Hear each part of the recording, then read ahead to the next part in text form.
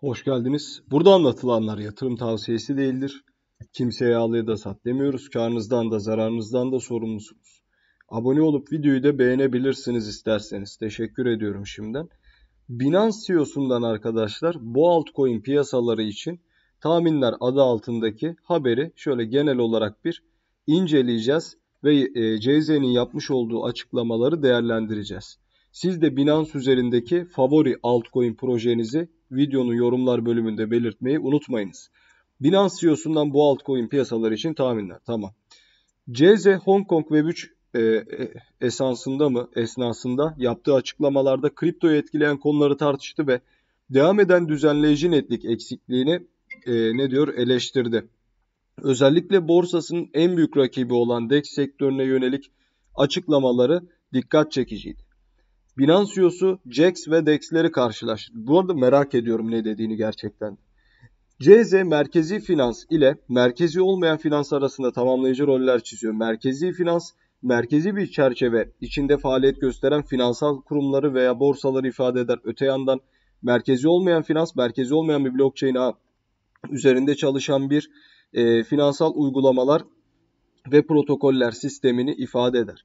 Hem GFI hem de DeFi'nin güçlü ve zayıf yönleri vardır. GFI daha kullanıcı dostudur ve daha fazla likidite sunarken DeFi daha şeffaftır ve kullanıcılara varlıkları üzerinde daha fazla kontrol sağlar. Bununla birlikte geleneksel finans ve kripto para piyasaları da dahil olmak üzere küresel makroekonomi sorunlu bir geçmişe sahip.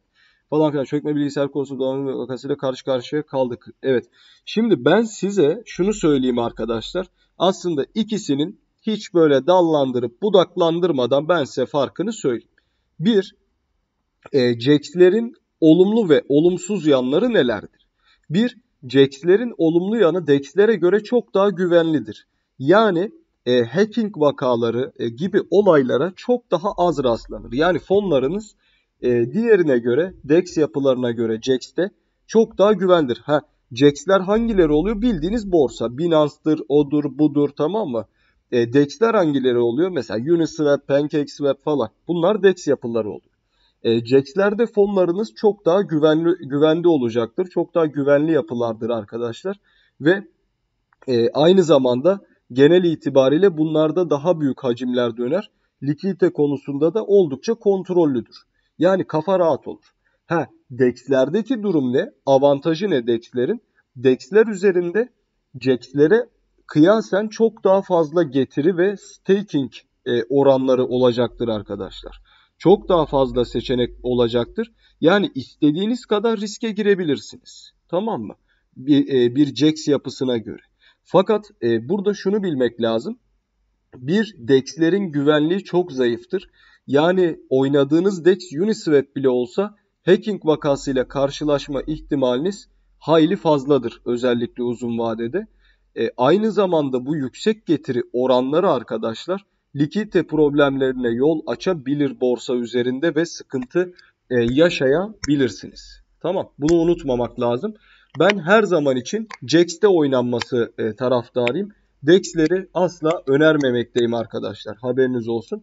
Kaldı ki DEX'ler varıyor listeler. Yani üzerinde altcoin Ponzi mi değil mi çok bakmazlar.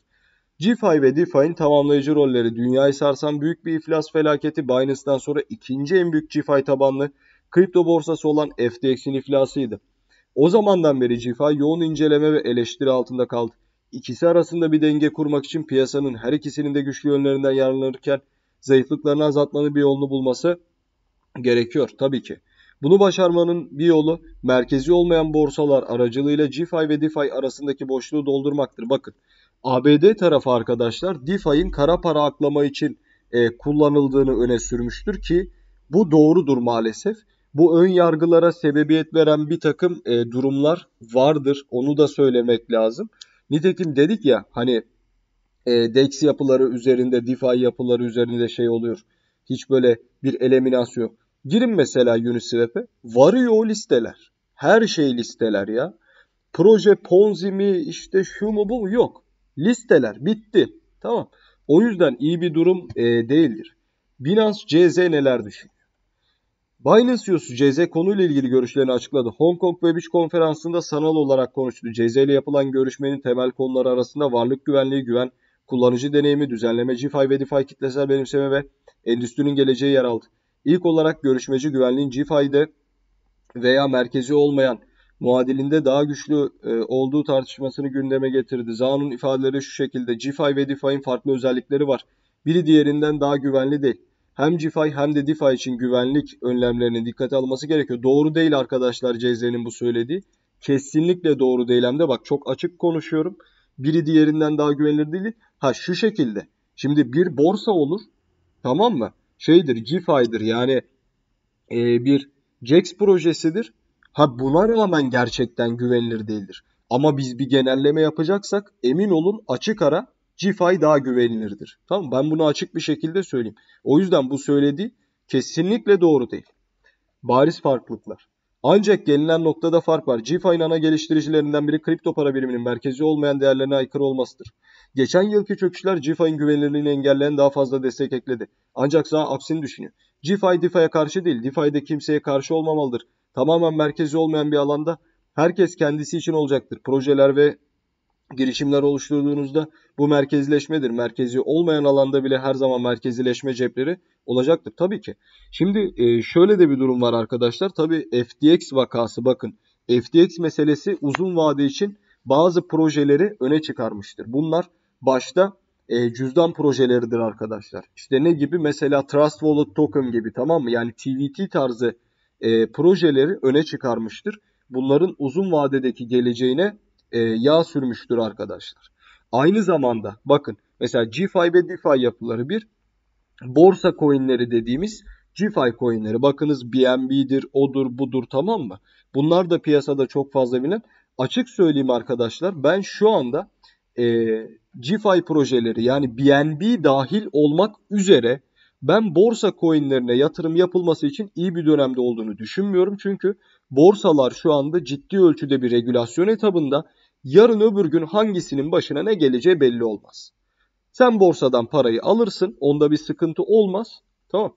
Ancak regülasyon etkisi olduğu zaman örneğin bir borsa kapanırsa sana parayı verir vermeye de Binance kapandı tam paranı aldın da e BNB çöktü. Tamam. Böyle bir sıkıntı olur. E, iki şeyler gerçekten iyi. Bak ikisi arasında bir kıyas yaparsak DeFi projelerininkiler daha iyi. Mesela Uni'den bakın, Cake'den bakın tamam mı? Bunlara yatırım yapılabilir ve anlaşılabilir. Bunlar iyi projelerdir. Tabi projeden projeye göre de değişir.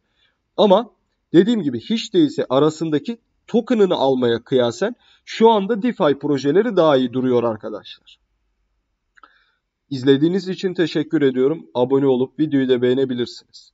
Bol kazançlar dilerim. Videoyu izleyen herkese hoşça kalın.